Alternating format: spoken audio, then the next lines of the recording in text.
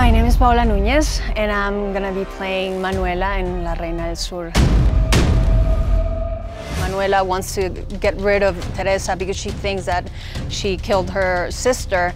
She's motivated by vengeance and by hate.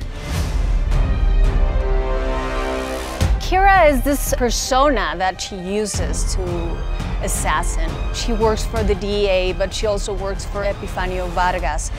Ahora vamos a hacer que sufra la Teresa.